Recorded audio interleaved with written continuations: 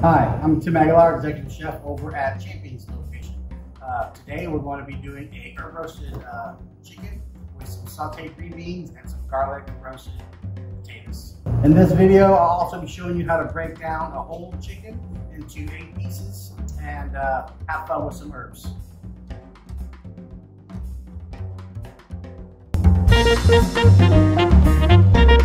Thank you.